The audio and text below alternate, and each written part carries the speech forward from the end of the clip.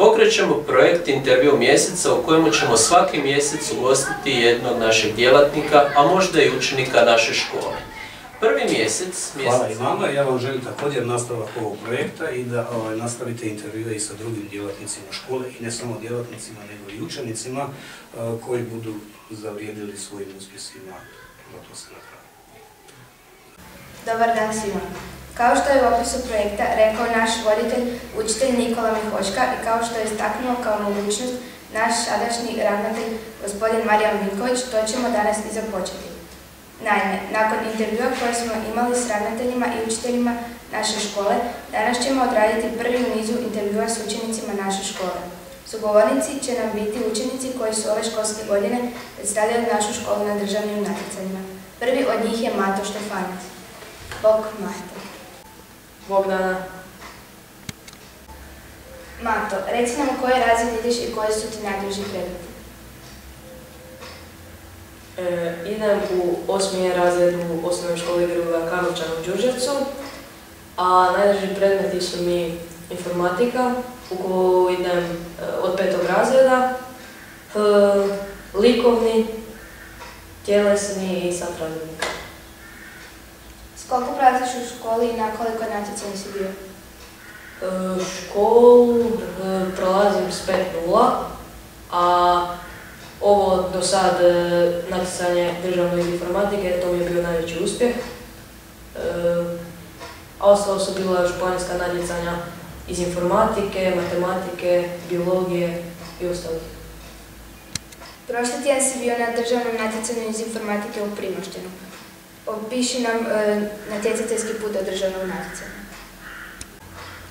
E, informatika mi se uvijek činila zanimljivo i znači u petom razredu sam krenuo e, na informatiku i kada mi je dobro išlo, prijavio, sam, prijavio sam se na školsko natjecanje bio sam prvi, onda su krenule pripreme na županijsko i među 15 učenika isto sam bio prvi.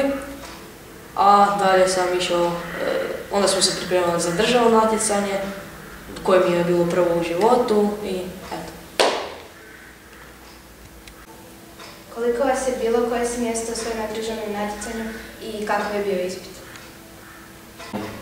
E, na natjecanju iz moje kategorije sveukupno nas je bilo 29 e, i ja sam se plasirao u grupu učenika koja je šesto mjesto. E, ispit je bio dosta težak i osvojio sam 22 od 38 bodova. Kako ti je bilo tamo? U Primoštenu je bilo lijepo, i u hotelu je bilo dobro, svaki dan smo imali švedski stol. E, prošetali smo se po gradu, tamo je isto lijepo bilo. E, upoznao sam e, mnogo prijatelja dobrih i jedan dan smo išli na institut Trogir gdje sam se lijepo provao. U Primošenu je bilo puno dodatnih sadržaja, na primjer kao bazen, išli smo se kupati. Bila je gaming zona, tamo smo se igrali i najviše sam se sprijateljio sa svojim prijateljem Cimerom Andrijom iz Jastrobarskog. Je li ti žao što je natjecanje završilo i namjeravaš li se natjecati kad budeš u srednjoj školi? E, žao mi je što je natjecanje završilo, moglo je još kojih tjedan dana trajati, a u srednjoj školi se mislim natjecati nakon ovakvog uspjeha. U koju srednju školu namjeravaš ići i zašto?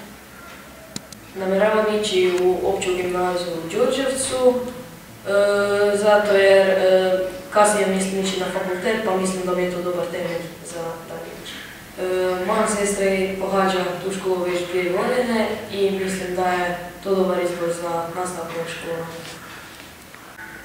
Reci nam čime se baviš u slobodno vrijeme izvan škole? izvan škole bavim se košarkom kome koliko toliko dobro ide. E,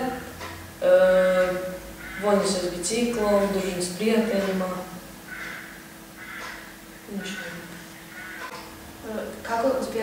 Uspijaš uskladiti sve svoje obaveze? E, teško, ali to sve organiziram i onda uspijem sve obaviti.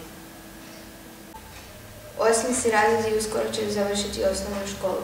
Možeš li nam reći čega će se najviše sjećati uz osnovnoškolskim danom? E, najviše ću se sjećati svojih osnovnoškolskih prijatelja, učitelja koji su me e, mnogo toga naučili i sjećat ću se ovog državnog natjecanja jer mi je to bilo prvo. Mato, želim ti puno sreće u tvojem danjem životu i školovanju. E, Hvala ti na ovom razgovoru. Nema na čemu hvala tebi.